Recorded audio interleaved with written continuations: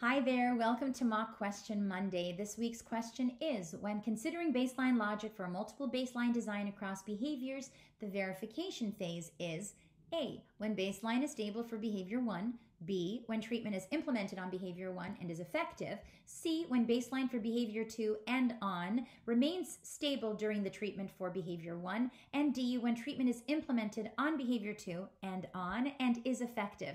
And the correct answer is C when baseline for behavior 2 and on remains stable during treatment for behavior 1. So, uh, first of all, what is baseline logic? Well, it refers to the experimental reasoning that's inherent in single subject experimental designs.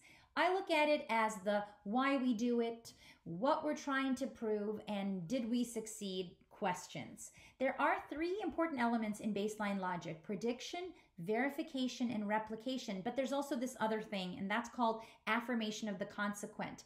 And each experimental design looks at these elements in different phases within that design. So today we're going to talk about the multiple baseline design. This is a design that you see used to display the generalization effects of an independent variable, and that could be across settings, uh, subjects, behaviors, and as far as baseline logic goes, let's break it down. So um, the prediction phase in the multiple baseline design, which is option A, that occurs when we see that stable baseline in behavior one. And what that equals is those predictable levels of behavior without the independent variable. Basically, if we don't treat this behavior, it's gonna stay the same. Affirmation of the consequent, that's option B, that's that extra element I was talking about. And when the IV is implemented for behavior one and then responding changes from that treatment, we have affirmation of the consequent.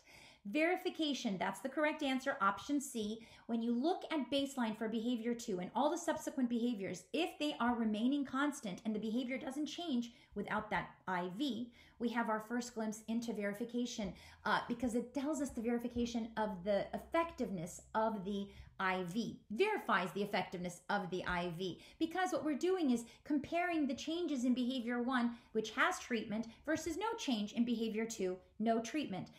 And of course, that's not enough to keep us going, so we've got to move on to replication. This is a very important step in baseline logic, and this occurs when we implement the IV on behavior 2 and all the subsequent behaviors and produce that same effect on the behaviors.